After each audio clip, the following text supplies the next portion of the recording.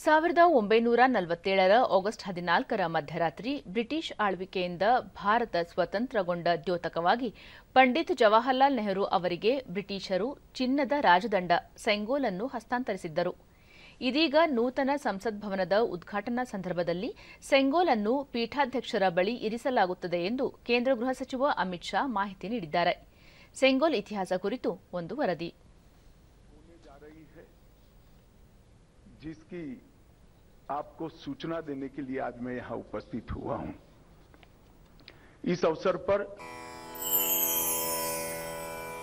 August ಹತ್ತೊಂಬತ್ತು ನೂರ ನಲವತ್ತೇಳು ಮದ್ರಾಸ್ ಪ್ರೆಸಿಡೆನ್ಸಿ ಗಣ್ಯರ ಗುಂಪು ಜೀವಮಾನದ ಐತಿಹಾಸಿಕ ಪ್ರವಾಸಕ್ಕೆ ಸಿದ್ಧವಾಗುತ್ತಿದೆ ಅವರನ್ನು ಪ್ರಮುಖ ಕಾರ್ಯವನ್ನು ನಿರ್ವಹಿಸಲು ಆಹ್ವಾನಿಸಲಾಗಿದೆ ಒಬ್ಬ ಆಡಳಿತಗಾರನಿಂದ ಇನ್ನೊಬ್ಬರಿಗೆ ಅಧಿಕಾರ ಹಸ್ತಾಂತರಿಸುವ ಪ್ರಕ್ರಿಯೆಯನ್ನು ವಿಧಿವಿಧಾನಗಳಿಂದ ಪೂರ್ಣಗೊಳಿಸುವ ಕೆಲಸವನ್ನು ನೀಡಲಾಗಿತ್ತು. ಈ ಜನರು ಯಾವ ದಿಕ್ಕಿನಲ್ಲಿ ಸಾಗುತ್ತಿದ್ದಾರೆ? ದೆಹಲಿ. ಭಾರತ ಸ್ವಾತಂತ್ರ್ಯದ ಸಮೀಪದಲ್ಲಿತ್ತು. ಬ್ರಿಟಿಷರ ಆಳ್ವಿಕೆಯಿಂದ ಮುಕ್ತಿ ಪಡೆದ ಸಮಯ. ಸ್ವರಾಜ್ಯ ಹೋರಾಟದಲ್ಲಿ ಸಾವಿರಾರು ಮಂದಿಯನ್ನು ಬಂಧಿಸಲಾಯಿತು. ಅವರನ್ನು ಕೊಲ್ಲಲಾಯಿತು. ದಶಕಗಳ ನಂತರ ರಾಷ್ಟ್ರವು ತನ್ನ ಗುರಿಯನ್ನು ಸಮೀಪಿಸುತ್ತಿತ್ತು. ಆ ಗುರಿಯಾಗಿತ್ತು ಸ್ವಾತಂತ್ರ್ಯ, ಸ್ವರಾಜ್ಯ.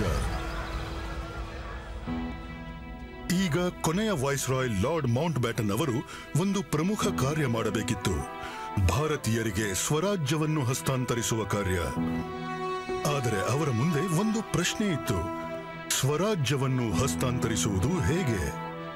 ಆ ಸಮಯದಲ್ಲಿ ಹಸ್ತಲಾಗವ ಸೂಕ್ತವಲ್ಲ. ಹಾಗಾದರೆ ಈ ಅದ್ಭುತ ಕ್ಷಣವನ್ನು ಸಂಕೇತಿಸಲು ಹೇಗೆ ಆಚರಿಸಬೇಕು? ಈ ಪ್ರಶ್ನೆಯನ್ನು ಪಂಡಿತ್ ಜವಾಹರ್ಲಾಲ್ ನೆಹರು ಮುಂದೆ ಇಟ್ಟರು. ಇದು ನ್ಯಾಯೋಚಿತ ಪ್ರಶ್ನೆಯಾಗಿದ್ದು ಚರ್ಚೆಯ ಅಗತ್ಯವಿತ್ತು. ನೆಹರು ಅವರು ಈ ಪ್ರಶ್ನೆಯನ್ನು ಪ್ರಸಿದ್ಧ ಸ್ವಾತಂತ್ರ್ಯ ಹೋರಾಟಗಾರ ಶ್ರೀ ಸಿ ರಾಜಗೋಪಾಲಾಚಾರಿ ಅವರ ಮುಂದೆ ಇಟ್ಟರು. ತಮಿಳುನಾಡಿನಲ್ಲಿ ರಾಜಾಜಿ ಎಂದೇ ಖ್ಯಾತರಾಗಿದ್ದರು. ನೆಹರು, ರಾಜಾಜಿಯವರ ಪಾಂಡಿತ್ಯ ಮತ್ತು ಭಾರತೀಯ ಸಂಪ್ರದಾಯಗಳ ನಾಗರಿಕತೆಗಳ ಬಗೆಗಿನ ಜ್ಞಾನವನ್ನು ಗೌರವಿಸುತ್ತಿದ್ದರು. ರಾಜಾಜಿ ಅದರ ಪರಿಹಾರವನ್ನು ಭಾರತದ ವೈಭವದ ಗತಕಾಲದಲ್ಲಿ ಕಂಡುಕೊಂಡರು. ತಮಿಳುನಾಡಿನ ಚೋಳ ಸಾಮ್ರಾಜ್ಯದಲ್ಲಿ ಇದು ಭಾರತದ ಅತ್ಯಂತ ಹಳೆಯ ದೀರ್ಘಕಾಲೀನ ಉತ್ತಮ ಆಡಳಿತವಾಗಿತ್ತು.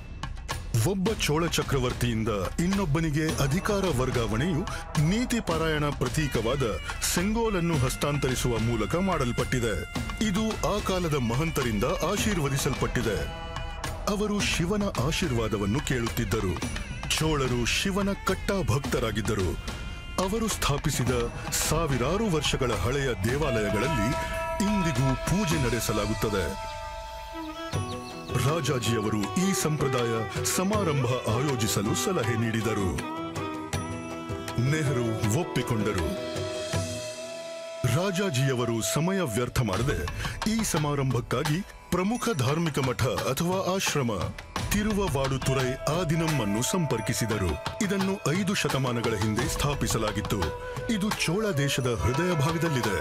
ಇದುವರೆಗೂ ಕಾರ್ಯನಿರ್ವಹಿಸುತ್ತಿದೆ. ಆಗಿನ ಮಠದ ಮುಖ್ಯಸ್ಥರಾದ ಇಪ್ಪತ್ತನೇ ಗುರು ಮಹಾಸನ್ನಿಧಾನಂ ಶ್ರೀಲಶ್ರೀ ಅಂಬಲವಾಣ ದೇಸಿಕ ಸ್ವಾಮಿಗಳು ತಮ್ಮ ಅನಾರೋಗ್ಯದ ನಡುವೆಯೂ ಈ ಕಾರ್ಯವನ್ನು ಸ್ವೀಕರಿಸಿದರು. ಅವರು ಸೆಂಗೋಲ್ ತಯಾರಿಸುವ ಜವಾಬ್ದಾರಿಯನ್ನು ಮದ್ರಾಸಿನ ಹೆಸರಾಂತ ಆಭರಣ ವ್ಯಾಪಾರಿ ಹುಮ್ಮಿಡಿ ಬಂಗಾರು ಅವರಿಗೆ ವಹಿಸಿದರು. ಸೆಂಗೋಲ್ನ ಮೇಲ್ಭಾಗದಲ್ಲಿ ನಂದಿ ಇತ್ತು. ಇದು ಶಕ್ತಿ, ಸತ್ಯ ಮತ್ತು ನ್ಯಾಯದ ಸಂಕೇತವಾಗಿದೆ. ಸೆಂಗೋಲ್ ತಯಾರಿಸಿದ ಸಮಯವನ್ನು ನೆನಪಿಸಿಕೊಳ್ಳುತ್ತಾ ತೊಂಬತ್ತಾರು ವರ್ಷದ ಶ್ರೀ ಉಂಬಿಡಿ ಎತ್ತಿರಾಜುಲು ಹೇಳುತ್ತಾರೆ. ಆ ದಿನ ಯಾರದೋ ಶಿಫಾರಸಿನ ಮೇರೆಗೆ ಸೇಂಗೋಲ್ ಕಟ್ಟಲು ನಮ್ಮ ಬಳಿಗೆ ಬಂದರು. ಅದರ ಚಿತ್ರಗಳನ್ನು ನಮಗೆ ತೋರಿಸಿದರು. ಅದು ದುಂಡಗಿನ ಆಯತಾಕಾರದ ವಸ್ತುವಾಗಿತ್ತು. ಅದನ್ನು ನಿಖರವಾಗಿ ಹಾಗೆ ಮಾಡಬೇಕಿತ್ತು. ಇದು ಪ್ರಮುಖ ಸ್ಥಳಕ್ಕೆ ಹೋಗುತ್ತಿದೆ. ಆದ್ದರಿಂದ ಉತ್ತಮ ಗುಣಮಟ್ಟವು ಅತ್ಯಗತ್ಯವಾಗಿತ್ತು. ಇದನ್ನು ನಿರ್ಮಿಸಲು ಆದೇಶವನ್ನು ಪಡೆದುಕೊಂಡಿದ್ದೇವೆ. ಇದನ್ನು ಬೆಳ್ಳಿಯಿಂದ ಮಾಡಲಾಗಿದೆ. ಅದರ ಮೇಲೆ ಚಿನ್ನದ ಪದರವಿತ್ತು. ಆದಿನಂಗಳ ಜೊತೆ ಈ ನಿರ್ಮಾಣದೊಂದಿಗೆ ಸಂಬಂಧ ಹೊಂದಲು ತುಂಬಾ ಸಂತೋಷವಾಯಿತು. ಸ್ವಾತಂತ್ರ್ಯ ಎಲ್ಲರಿಗೂ ಹೆಮ್ಮೆಯ ಕ್ಷಣವಾಗಿತ್ತು. ಆದರೆ ಆದಿನಂಗಳು ಸೇಂಗೋಲ್ ನಿರ್ಮಾಣದ ಜವಾಬ್ದಾರಿಯನ್ನು ನಮಗೆ ವಯಸ್ಸಿಕೊಟ್ಟಾಗ ಆ ಕ್ಷಣದ ಮಹತ್ವವು ಇನ್ನೂ ಕೂಡ ಹೆಚ್ಚಾಯಿತು. ಅವರ ಪವಿತ್ರ ಮಠಾಧೀಶರು ಉಪ ಪ್ರಮುಖ ಶ್ರೀಲಶ್ರೀ ಕುಮಾರಸ್ವಾಮಿ ತಂಬಿರಾನ್ ಆದಿನಂನ ಓದುವಾರ್ ವಿಶೇಷ ಗಾಯಕ ಮಾಣಿಕಂ ಮತ್ತು ನಾದಸ್ವರ ವಿದ್ವಾನ್ ಟಿಎನ್ ರಾಜರತ್ತಿನಂ ಪಿಳ್ಳೈ ಅವರಿಗೆ ಕಾರ್ಯಕ್ರಮದ ನಿರ್ವಹಣೆಯ ಜವಾಬ್ದಾರಿ ನೀಡಲಾಯಿತು. ಈ ತಂಡ ವಿಶೇಷ ವಿಮಾನದ ಮೂಲಕ ದೆಹಲಿ ತಲುಪಿತು.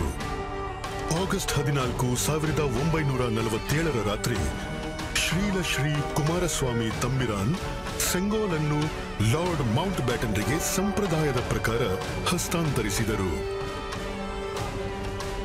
ಅದನ್ನು ಲಾರ್ಡ್ ಮೌಂಟ್ ಬ್ಯಾಟನ್ ಅವರಿಂದ ಮತ್ತೆ ಸ್ವೀಕರಿಸಿದರು. ನಂತರ ಸೆಂಗೋಲನ್ನು ತೀರ್ಥದಿಂದ ಶುದ್ಧೀಕರಿಸಲಾಯಿತು. ಇದನ್ನು ಧಾರ್ಮಿಕ ಭೇಟಿಯಂತೆ ಪಂಡಿತ್ ಜವಾಹರ್ಲಾಲ್ ನೆಹರು ಬಳಿಗೆ ಕೊಂಡೊಯ್ಯಲಾಯಿತು.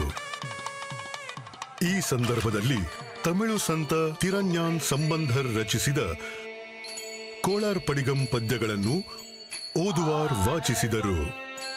ಮಹಂತರು ಪೀತಾಂಬರವನ್ನು ಧರಿಸಿ ಸೆಂಗೋಲನ್ನು ನೆಹರು ಅವರಿಗೆ ಹಸ್ತಾಂತರಿಸಿದರು.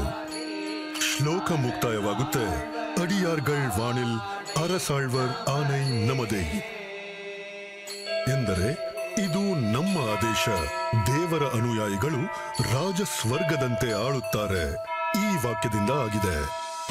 ಹೀಗೆ ಸಾವಿರಗಳ ಹಿಂದಿನ ನಾಗರಿಕ ಪದ್ಧತಿಯ ಪ್ರಕಾರ ದಕ್ಷಿಣ ಮತ್ತು ಉತ್ತರದ ಅಸಾಧಾರಣ ಏಕೀಕರಣದಿಂದ ರಾಷ್ಟ್ರವನ್ನು ಒಂದೇ ದಾರದಲ್ಲಿ ಹೆಣೆಯುವ ಮೂಲಕ ಆಡಳಿತದ ವರ್ಗಾವಣೆ ನಡೆಯಿತು. ಅದರ ನಂತರ ನೆಹರು ಅವರು ಭಾರತದ ಮೊದಲ ರಾಷ್ಟ್ರಪತಿ ಶ್ರೀ ರಾಜೇಂದ್ರ ಪ್ರಸಾದ್ ಸೇರಿದಂತೆ ಅನೇಕ ನಾಯಕರ ಸಮ್ಮುಖದಲ್ಲಿ ಸೆಂಗೋಲನ್ನು ಸ್ವೀಕರಿಸಿದರು. ಈ ಐತಿಹಾಸಿಕ ಘಟನೆಯನ್ನು ರಾಷ್ಟ್ರೀಯ ಮತ್ತು ಅಂತಾರಾಷ್ಟ್ರೀಯ ಮಾಧ್ಯಮಗಳಲ್ಲಿ ವಿಶ್ಲೇಷಿಸಿ ಪ್ರಕಟಿಸಲಾಗಿದೆ. ಟೈಮ್ ಪತ್ರಿಕೆಯು ಇದನ್ನು ಆಗಸ್ಟ್ ಇಪ್ಪತ್ತೈದು ಸಾವಿರದ ಒಂಬೈನೂರ ನಲವತ್ತೇಳರಂದು ಪ್ರಕಟಿಸಿತು.